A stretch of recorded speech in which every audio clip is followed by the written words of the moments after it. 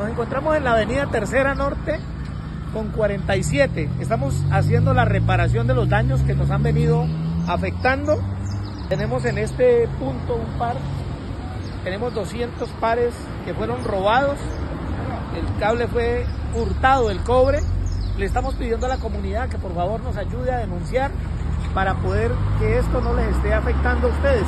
Estamos actuando en todo este proceso tal cual como lo estamos haciendo incluso como nos ocurrió esta semana con la multinacional Claro, que nos estaba robando físicamente la parte eléctrica y estamos actuando sobre cada uno. Esto para decirle también a los que están instalando de forma pirata, y estamos hablando de los operadores piratas, que estamos tomando acciones para poder llevar a cabo y los vamos a judicializar. En esto estamos y estamos en todos los procesos de, reparación y judicialización para las empresas piratas que están trabajando en la ciudad.